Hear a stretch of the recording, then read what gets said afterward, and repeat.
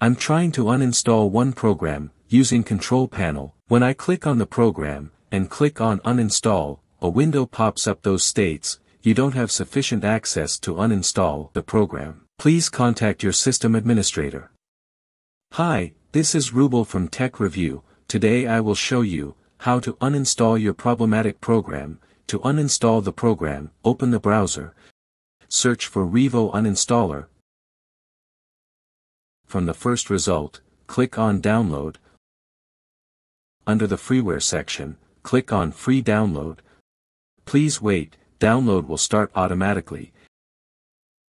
After finishing the download, go to the downloaded folder, double-click on it. Click on Yes. Click on OK.